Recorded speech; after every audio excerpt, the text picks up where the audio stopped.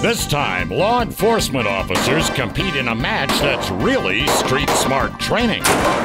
Plus, the Colt 1877, now one of history's guns. And handgun silhouette reaches out to rifle distances. This is Shooting USA, reporting the stories of America's shooting sports.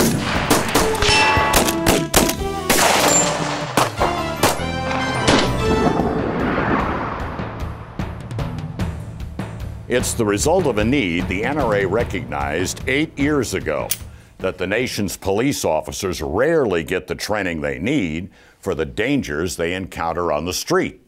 The answer the Tactical Police Competition, or TPC. It's three gun competition limited to duty gear for local, state, and federal law enforcement officers. They compete with the gear they carry on the streets while running through scenario based courses of fire, scenarios they may face on the job. The scenario an officer responds to a jewelry store robbery call, but trips on the sidewalk outside the shop. At this time, go ahead and take a deep breath. His duty gun is a few feet away, and so is a threat just beyond the orange mesh.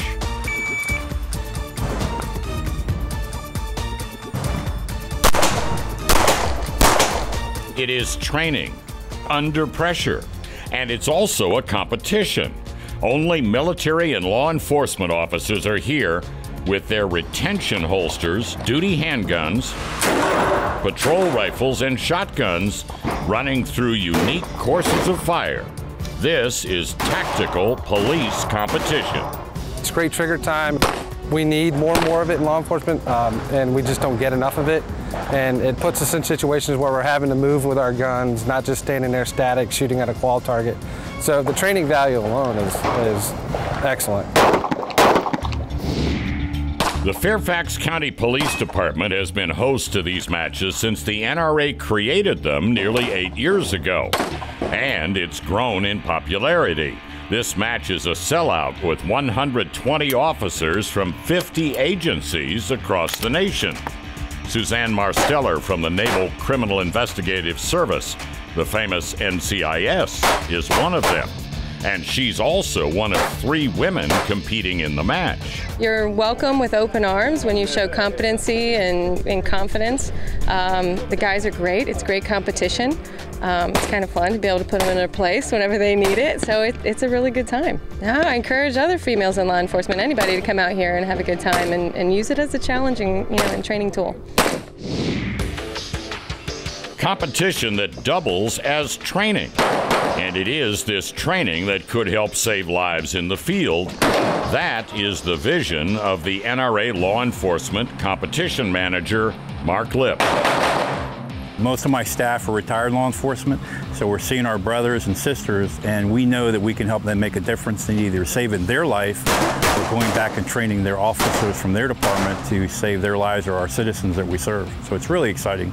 Mark Lip is a retired deputy chief who designed tactical police competition with the officer in mind, and that is reflected in the scoring system. All courses of fire are timed and scored in seconds. The same goes for each target zone. So we started with a target and designed it around the human torso, where do, where do shots have to go to eliminate that immediate threat. Not to kill people, but to stop that forward aggression. So instead of different scoring zones, we actually call them loss of accuracy penalties.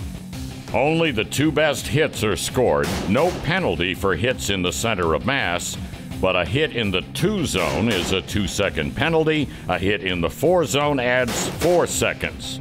Just missing a threat target is a 40 second penalty. And hitting a no shoot target representing an innocent bystander also adds penalty points. Most of the civilian shooting sports, it's all about speed, speed, speed. Well, that's not law enforcement. We're looking for the accuracy first, speed second. There are lots of curveballs in tactical police competition, which demonstrate uncertain situations officers may face in the field. So, on this rifle only stage, officers must start by taking cover under a patrol car as if a gunman has just blown out the windshield. Like most of the shootings, you definitely don't want to be in the wide open. You want to get behind the cover or concealment, and also, you know, shoot from a position that is more secure than a wide open place. This stage is appropriately named Exploding Windshield, and officers are about to face an additional challenge a malfunction. Range officers hide a dummy round in every magazine, forcing officers to tap and rack, tap the magazine to seat it in place, rack the bolt to clear the dummy round. Officers know it's coming, they just don't know when. It's always a little bit of a shock, but when they tell you it's there, you're kind of waiting for it. Luckily, Pamela Jewelhart recovers quickly with her department's new upgrade a Colt M4 carbine topped with a red dot optic. And the combat optic is a step up from her old patrol rifle with iron sights. It's just more tactically sound. It's just, it's a lot quicker to acquire your target um, especially with all the active shooters going on nowadays. It's good to be equipped, and you know you don't want to be outgunned by the bad guys. So I think a lot of the agencies are going to, you know, just the more tactical weaponry. The NRA allows both iron sights and optics in competition as more departments switch to advanced sighting systems. Either way, both are put to the test thanks to the stage designer who continues to challenge officers in competition to prepare them for the unpredictable world they protect. They'll joke around like, oh, that was really hard. Why'd you make me shoot this and want to do that? By the end of the day, of course, they're stone tired, as you've seen. They're just going, this is the greatest training we've ever had. When we hear that, we know we've done our job. It's a long standing tradition in action shooting with a timer and a scorecard Training is not only fun, it also comes much closer to simulating real life drama on the streets. Well, coming next, the officer who says TPC competition is adding tools to his toolbox. And a look at the firearm tools of the trade. Introducing the M&P M2.0 by Smith & Wesson, enhanced for complete shootability. Featuring a new aggressive grip texture the famous M&P Optimal Grip Angle. Four interchangeable palm swell grips for nearly any hand size. A light, crisp trigger with a clear tactile reset. Everything you love about the M&P pistol made even better. The new M&P M2.0. Advanced by design. Shooting USA is brought to you by the M&P by Smith & Wesson. Advanced by design. When you meet the officers shooting the tactical police competition, you find experienced officers keeping their skills sharp and younger officers training for the confrontation they hope never comes. You also find the choice of patrol firearms are frequently decided by the department, but more and more are left to the individual officer's choice. Sergeant Robert Kamensky is no stranger to dangerous encounters. We've dealt with active shooters before. Um, we've had uh, the Discovery Center bombing was in our jurisdiction, and we also had the um, uh, Muhammad and Malvo, the Beltway snipers, originated in our jurisdiction. Kamensky has been protecting and serving the people of Montgomery County in Maryland for 28 years, and he continues to test himself through quality training with the firearms he carries on the job. It's important for me because I think the um, the stress of competition is something that helps you when you're out working on the road. Uh, I shoot a uh, Smith & Wesson M&P and I shoot a Winchester shotgun. Our department carries Glocks, but the you know, striker fired M&P is very similar to a Glock. I just like the, the feel of it better in my hand. I like the grip, the way it feels. I like the trigger pull a little bit better and that's just, just preference, I think. The more training you do, the more different circumstances that you're exposed to, I think it just gives you um, more tools in your toolbox, so to speak, to kind of go into a situation and not just have one solution.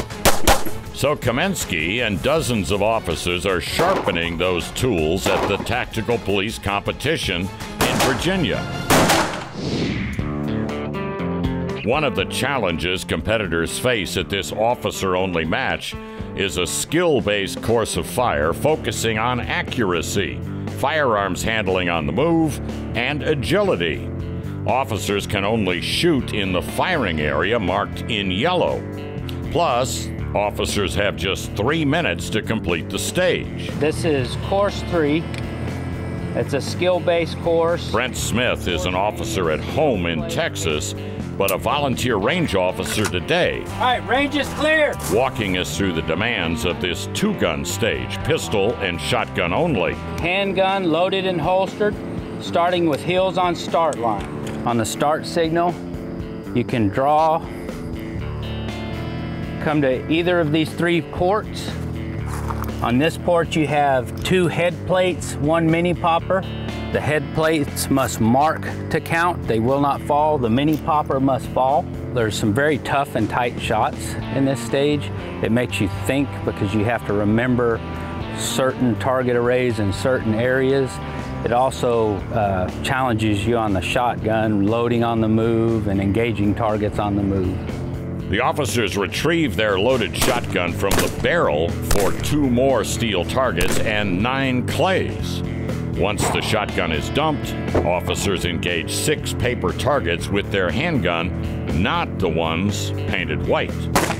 You must remain within this firing area and maneuver through and around these no-shoot targets. If you step out of the firing area or knock over one of the no-shoot targets, it's a 10-second procedural.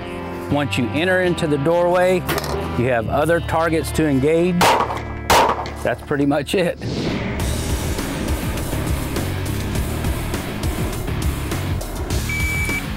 This is Reagan Rafferty's first tactical police competition. He's an officer with a small department in Pennsylvania, one of 14 officers in total. But everyone is fully equipped with whatever they want. I'm shooting Glock 17 today. Glock 17 Gen 4. I have a T, uh, Streamlight TLR 1 HL light on it. I put AmeriGlo straight 8 style sights. My department's pretty, pretty good about whatever you shoot best with is what you carry. Reagan's Mossberg 930 SPX is also his choice for extreme situations. The idea behind a shotgun, it is, it is made to be run very rough. The harder that you actually run it, the more rough you are pretty much with the weapon itself, the better it'll perform, the harder you can run with it. Because in those high stress situations and things like that, fine muscle memory kind of goes, goes right out the door. You want to be able to do something that's rough, easy to remember, gross muscle movements that just translate better into the firearm. Creating muscle memory and perfecting proficiency. The skills officers need to protect the public and themselves. All these skills, they're directly transferable. I mean, it's the kind of thing where you hope to never have to use a firearm or anything like that while working, but if you have to, you better be good at it. You better be good at it. And that's equally good advice for those of us who aren't officers but carry concealed. And still ahead, training to stop European jihad in a street-side cafe. The stage called And You Never Thought It Would Happen Here. What makes a legacy? Is it quality? Craftsmanship? Maybe it's the idea that every American deserves their right to security and peace of mind on and off the battlefield. What makes a legacy? Here at Colt, we're making it every day. Colt, built one at a time, proven every round. Shooting USA is brought to you by Hornady, accurate, deadly, dependable, and by Bushnell Performance Optics. For concealed carry civilian training, the sport is IDPA with scenarios like being robbed at an ATM. But for tactical police competition, the scenarios involve active shooters, like the stage, and you never thought it would happen here. A band of jihadis shooting up a street side cafe. Shots have been reported at a local upscale cafe at the town center. Before backup arrives, you hear several gunshots from the outside seating area. Hear screaming, and people come running around the corner towards your position. Before you can yell commands at them, you see a gunman dressed in all black. As you begin to raise your rifle, one sees you and starts to take aim. It is a scenario all too familiar in Europe jihadis attacking Western civilization. Course name is You Never Thought It Would Happen Here. As in a true response, officers go into this course without knowing nine other threats are beyond the double doors. This is a limited walkthrough stage. You are not allowed to walk past or look past that second set of doors, okay? But Range Officer Ryan Post gives us a look. They have to use their patrol rifle ammunition, 28 rounds first, and then if they run dry, they can finish the course with their handgun. You can't really game this stage because it's a limited walkthrough. Oh, but there's another catch. Once officers are out of ammo, they must transition to their handgun using their sling. But if officers don't have one, well, that's another challenge. They're going to have to do one-handed shooting. That's tough for everybody, including myself. Jason Perry is about to practice that discipline today. I left my sling in my truck, and I'm kind of upset about it now, but shot a lot more pistol rounds than I planned on, and they were one-handed shots and ended up missing a couple, but it's, in the end, it's all good training because you never know what can happen in a, in a gunfight. You may, sling may break or whatever, it may have to hold your rifle, and so it was all good training, good, good learning experience. And it's proof this competition works, forcing officers to make decisions on the fly and even some mistakes. Well, a lot of it's pretty challenging, and uh, a lot of these situations, uh, for instance, I just missed a target. I went through a room, passed the target, and it's better to do that in training than do that in a real operation, because uh, obviously that could have cost myself or my teammate his life. Uh, but in a training situation, now it's a mistake that I don't see myself making in the future. I'm a SWAT team officer with a major city's police department in the DC area. Um, I'm part of the entry team and I'm also a sniper with the team. But today, Kevin Lowley is practicing entry work with his Colt M4. It's a, got a 10 and a half inch barrel. It's uh, shortened for entries. It has fully automatic capability, although uh, the use of that is pretty limited depending on the situation. Um, I've been shooting NRA law enforcement competitions for the last eight years. Um, I use it as a training experience. Um, it's challenging and it's uh, stuff that sometimes my department just can't afford to do. So I seek it out on my own. Um, you know, being a cop isn't an eight-hour job where you can just check in and check out. A lot of our training is uh, done on our own personal time. It's training that these officers take seriously. But of course, some also take winning seriously too. I'm, I'm here to compete and win, I'll, I'll say that. Or, or try to win, I should say that. Quang Bui is no stranger to tactical police competition. But this time he's shooting it with a head camera and his own gear, which still qualifies as duty gear under the TPC rules. I'm using a uh, Blackhawk Serpa holster, level two, with the uh, with the push button, which is um, you know separate from my uh, my duty gear. Um, you know we use a, a Safariland level three, and actually my rifle is a Smith & Wesson M&P 15T, and I just kind of set it up with a uh, A2 carry handle and an A2 style front sight. Since it's my personal rifle, you know, get to have more, um, you know, just practice time with it, even if it's just dry firing or just kind of working on it in a basement or in the garage. So it's, um, you know, it's a great, it's a good platform. Whether department issue or personal guns, it is still quality training under pressure for officers who may need it on the street.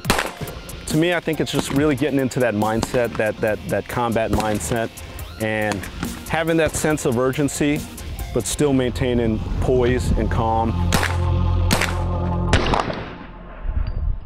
Well, even though Quang was in it to win it, he didn't. Ed Dix of the Montgomery County Police Department placed first in the patrol division, while Border Patrol agent Ian Myers placed first in the tactical division. The two guys more ready than most for whatever comes on the beat. The NRA hosts six TPC matches around the country each year, and they're affordable thanks to your support of the NRA. And for officers watching, we've got a link for more information at shootingusa.com. Well, up next today, the story of the Colt model of 1877, now one of history's guns. And later, how to shoot a 60 pound steel target at 500 meters with a handgun.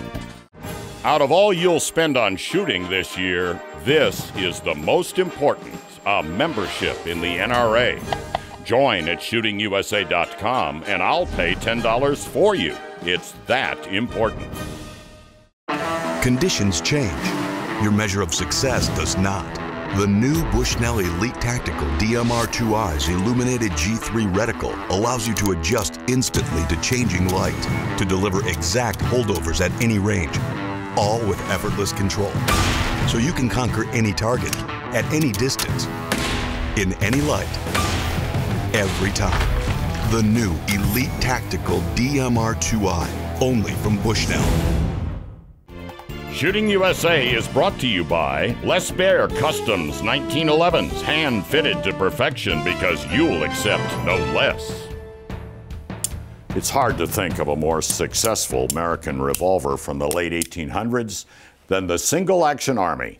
Colt built nearly 200,000 of them from 1873 to 1900. And the six gun was so popular and so reliable that Colt's customers were slow to accept newer models, even a new model leading the way to modern revolvers. Colt introduced a double action six gun only four years after the single action. The model of 1877 is now one of history's guns.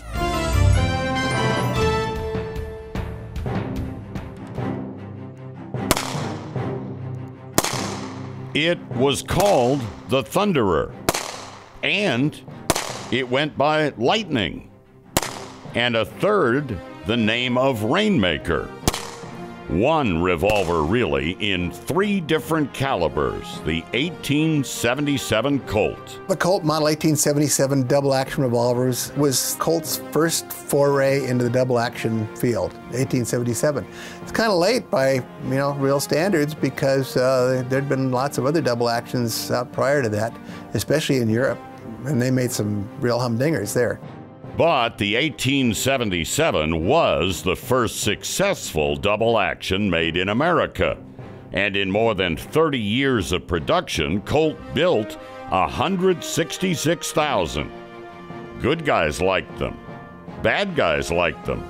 Even a few bad gals. Here's stagecoach robber Pearl Hart with a lightning stuck in her gun belt and a single action in the holster on her hip. Gary is also shooting the Lightning, a nickname Colt never used. One of their distributors, Benjamin Kittredge, came up with uh, nicknames for them called the called him the Thunderer, the one in 41 Colt. And then there was the Lightning in 38 Colt, that's the one we've got today. And then there was the Rainmaker in 32 Colt. The Lightning was far and away the most popular of the three. There's no question that it's a Colt. I mean, you take that away from it, and it looks just like a little miniature single action. The Lightning fires a black powder cartridge just as the single action does, though its smaller round, 38 long Colt leaves much to be desired. It's a little 38 Colt round. Is it a barn burner? No. It's no 38 special or, or, or 357 Magnum. It's kind of a mediocre 38 semi stopper. Still, the revolver does have its positive features. After all, it is a Colt. For somebody familiar with a single action back in the old days, it's just loaded the same way as a regular peacemaker. You just put the gun on half cock, open the loading gate, and drop in six rounds. Works great, practical.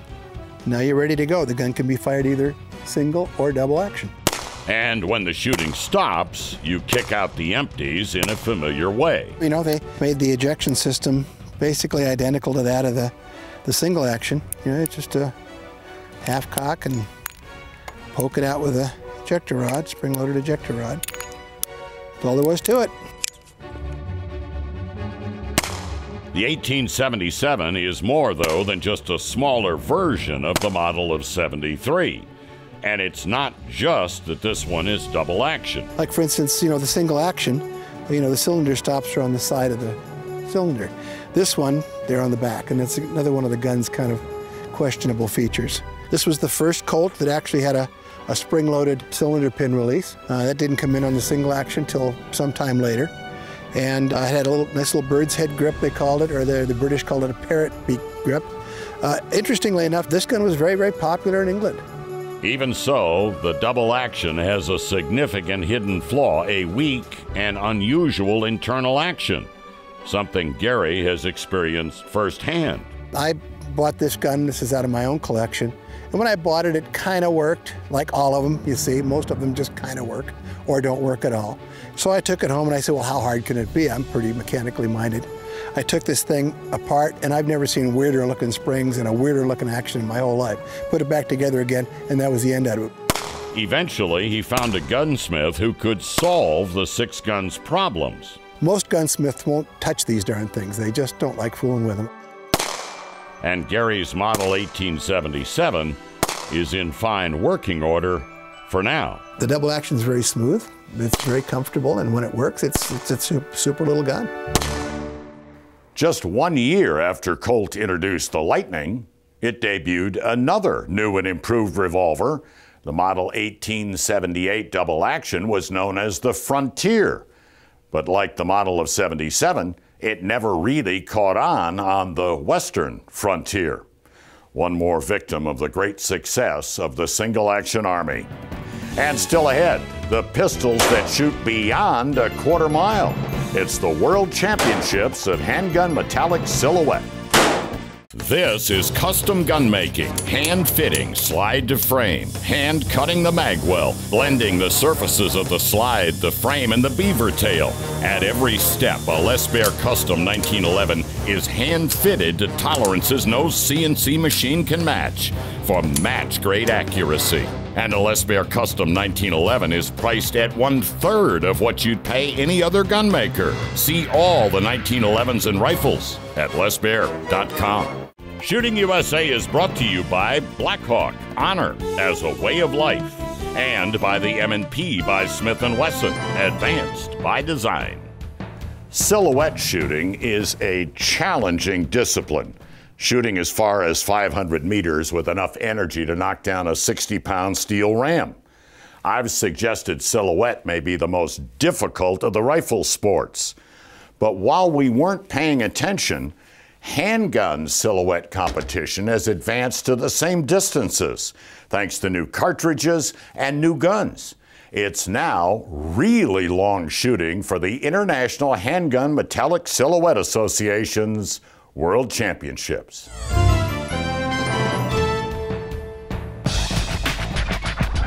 Summer in Oklahoma City, triple digit temperatures and high winds. But that's no problem for those competing in the International Handgun Metallic Silhouette Association's World Championships. They're shooting handguns like this at steel targets representing game animals as far out as 500 meters. Jim Fields has been the match director at the Oklahoma City Gun Club for 33 years. That new shooter comes out and he hears that bullet clang on the target. We pretty well got the hook in him. The hook is getting into a lot of people for this event. More than 120 shooters are here from the U.S., Canada, South America, and Australia, with some of the distances the same as NRA rifle silhouette. They're pushing the limits of what can be done in precision handgunning. You shoot targets clear out to 500 meters. Of course, you know, 200 meters makes their jaw drop, but 500 meters, they think you're lying to them. It is no lie, and it's amazing how accurate these guys and gals are. They're the best in the world shooting the different disciplines in IHMSA competition. Among them, Ultra 500, the first 500 meter event featured in the World Championships. Categories broken down by handgun action, sights, caliber, and shooting positions. To score a hit, the 60 pound ram, for instance, has to be knocked off its stand. If you hit the target and it does not fall off the stand, you're still putting a zero on the scorecard. You have 30 seconds. Later. Shooters are on the clock and have a set amount of time to fire on a bank of five targets. For the World Championships, In most every discipline, if 80 targets fall, that's a perfect score. And only the best in the world can do that. A lot of people can stay with them for four or five shots, but not for 80. They can't have the endurance and the concentration that they, they maintain. And all of that while shooting out to incredible distances for a handgun. The Ultra 500 discipline uses big bore guns and starts at 200 meters. Good hit. It's challenging enough to hit the chickens at 200. Good hit. After 20 shots at chickens, next up are the pigs at 300 meters. Then it's turkeys at 385. That's more than four football fields away. Now the rams at 500 meters, which is almost a third of a mile. Traditional handgun silhouette competition is from 100 to 200 meters. But the folks at the IHMSA World Championships have helped to advance this sport, some say thanks in part to very stable shooting positions, like the Creedmoor. Silhouette rules, by the way, say no part of the gun may touch the ground. Warren Alkire demonstrates the Creedmoor position. And then you want the elbow out that gives you somewhat of a tripod. That tripod provides stability for long shots and helps control recoil. And that's because when this gun fires, it's going to recoil easily for this, this much. The majority of the shooters at the Oklahoma City Gun Club shoot out of the Creedmoor or a related position colorfully named the dead frog. Where basically you cross your legs and would shoot across this way. And others shoot the Fields flop position, created by Jim Fields 13 years ago. It's become popular as far away as Australia and Brazil, but you do have to control the recoil to keep the scope out of your eye. You use your elbow and your five fingers as a tripod. And you rest the gun on top of your wrist and you drop your head onto the back of the gun just like you would a cheek piece on a rifle and press down on the finger that's underneath the grip, which stabilizes the back of the gun and allows a steadier position. The Fields Flop, one more example on how creative competition is advancing long range handgun accuracy. So they're hitting targets in Oklahoma City that are far out. But there's a lot that goes into making those shots. This shooting discipline requires specific guns, the right cartridges, and precise loads. Coming up, we'll find out what works at the World Championships. The next evolution in single stage press technology the lock and load iron press from Hornady. The heavy duty cast iron frame provides industry leading superior strength, featuring the available automatic priming system, patented shell holder platform, accessory mounting deck, and lock and load bushing system. The Hornady Lock and Load Iron Press will deliver match accurate ammunition, round after round, year after year.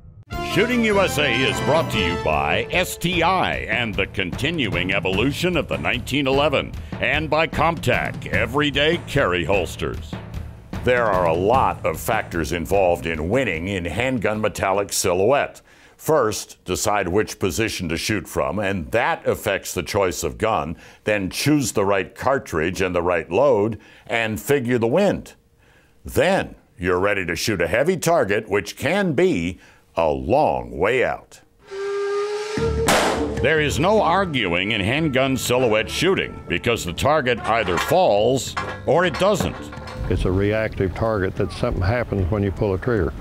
Either you miss or you see the target go over. And that's a big draw. A big draw for some, but too hard for others. It's difficult to knock over a 60 pound ram at 500 meters. And if the target is hit and doesn't fall, well, that's uh, not very good. that's called a ringer. And that's a zero on the scorecard instead of an X. But it does happen on a regular basis because of the many variables in this sport. like which cartridge to choose, what kind of load to go with, and accounting for the wind. But in the end, it comes down to this. You have to make a, a balance between the power uh, or the impact of the bullet uh, and the corresponding recoil.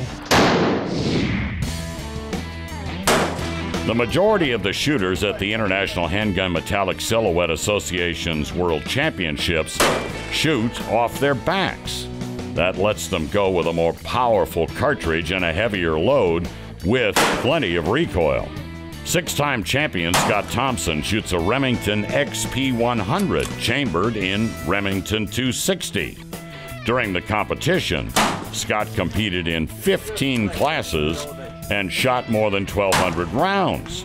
Still, he admits that there is no such thing as the perfect cartridge. You sort of have to do some experimenting because like uh, some bullets are made to blow up real easy. The bullet blows up on the steel and it won't push it over. So you, you kind of have to play with it and see what works. Scott says another popular cartridge in the unlimited and the production class is the 6.5 bench rest. Others swear by the 7mm BR, and some shoot 308. Whatever the cartridge, Scott prefers a bullet weight of 120 to 130 grains. Bolt action Remington XPs are almost always the top finishers in the unlimited and unlimited any sight category, and that held true for the competition in Oklahoma City.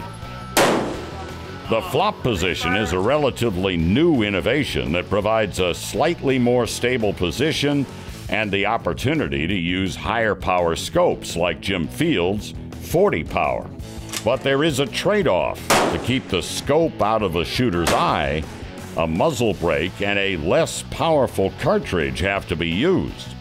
The 6mm bench rest has just enough power to knock over the rams, but has little margin if the wind, rail, or target conditions aren't ideal.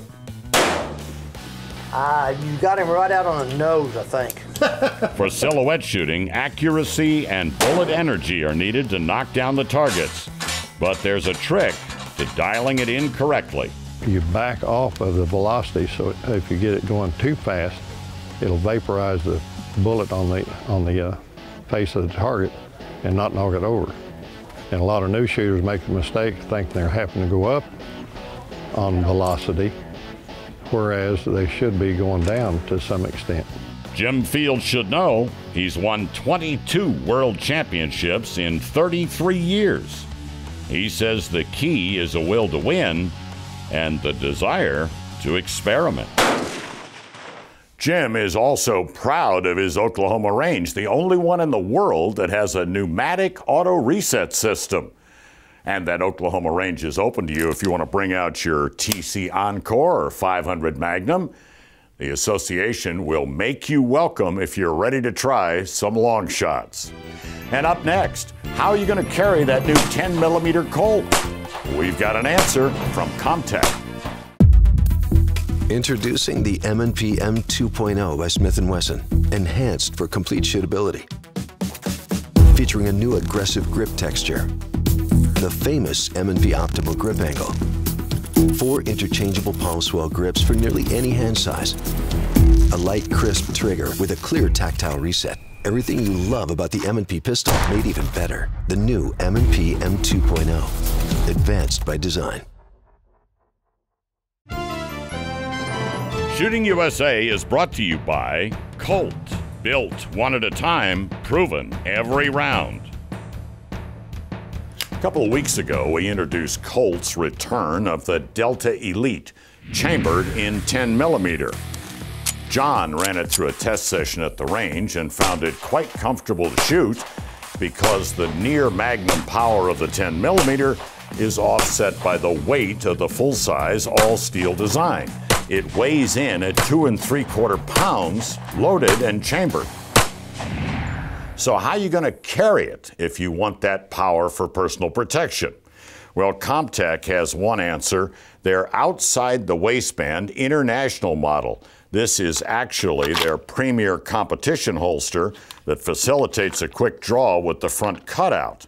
And you've seen Comp-Tac pro Randi Rogers using it successfully with her 1911, although not chambered in 10 millimeter. Now, with the weight of the Delta Elite, I'm going to also suggest one of Comp-Tac's reinforced cowhide belts to hold up your pants and carry the weight of the gun without twisting, thanks to an internal layer of Kydex that reinforces the structure.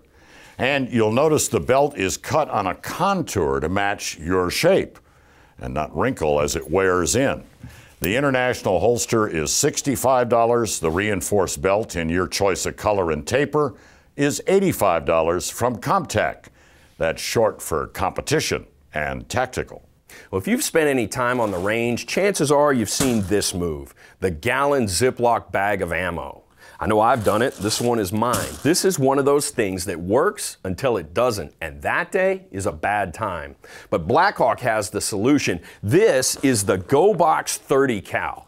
This multi-purpose utility bag has the same internal space as a traditional 30 cal ammo can. The closure is roll up and clip so you can be sure whatever's inside isn't getting out.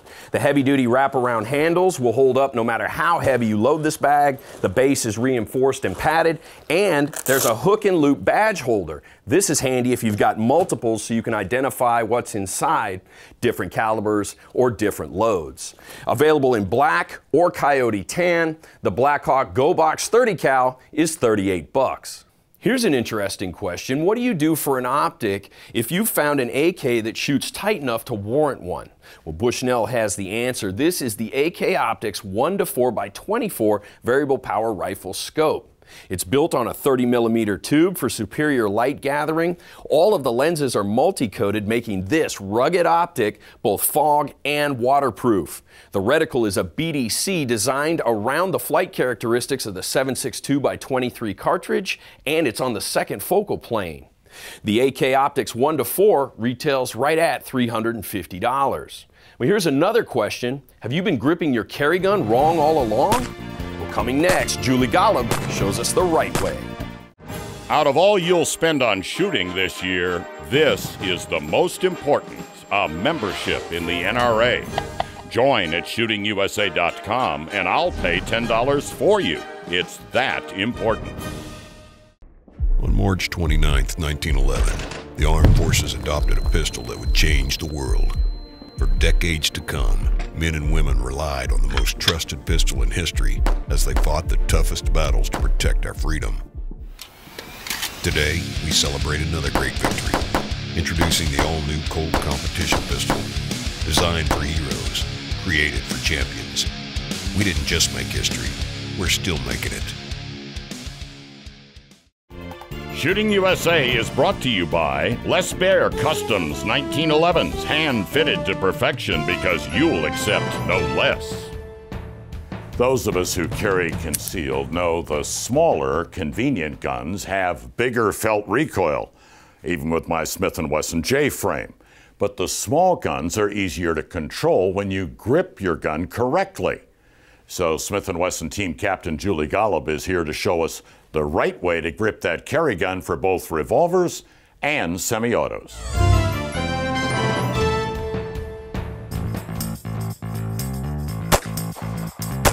The smaller and lighter the gun, the more it's going to recoil. Those are the laws of physics when it comes to shooting firearms designed for concealed carry, and it's why the fundamental shooting skill of proper grip is so important.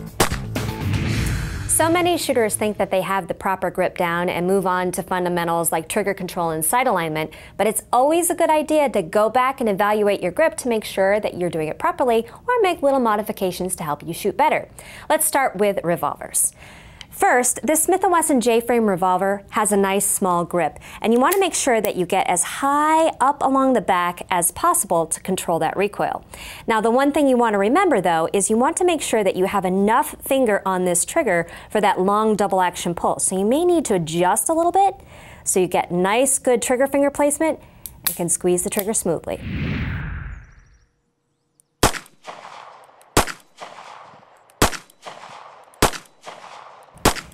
As I'm shooting, notice how high my strong hand is on the back of the gun. Keeping it nice and high allows me the leverage to control the recoil better. Now let's bring the support hand into play. Pistol shooters have a background of a bent thumb forward grip. Revolver shooters like that thumb over thumb technique both work, but the important thing to remember is you want to make sure your thumbs stay away from the cylinder. As you can see, the support hand not only helps to make you steadier, it works to control recoil. Try both grip styles to see what works best for you. I prefer the thumbs forward technique.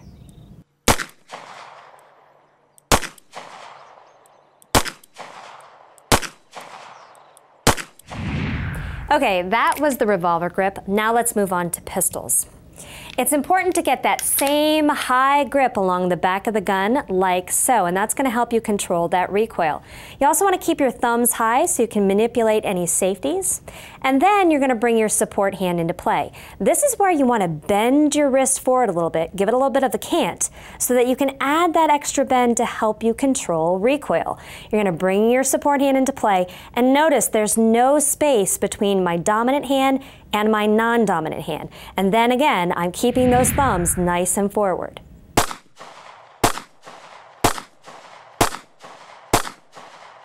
A thumbs forward grip on either this semi-auto or a revolver not only helps you control recoil, it helps you index more quickly. Simply throw your thumbs forward and on target, and you'll be able to see the sights faster.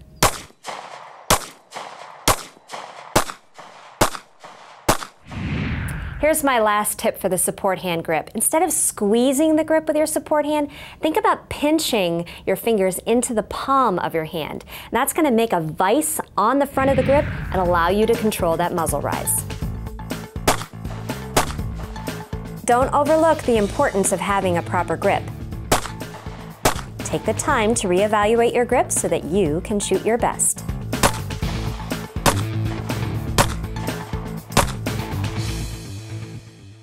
Thanks, Julie. And if you want to study your thumbs forward grip for the autoloaders, see it again in the pro tips section. And find more information about tactical police competition if you're an officer looking for more training, or where to shoot metallic handgun silhouette if you're interested in going really long. Find all the info at shootingusa.com. For all of us, I'm Jim Scoutten. And shoot safely, shoot often, and keep them in the 10 ring.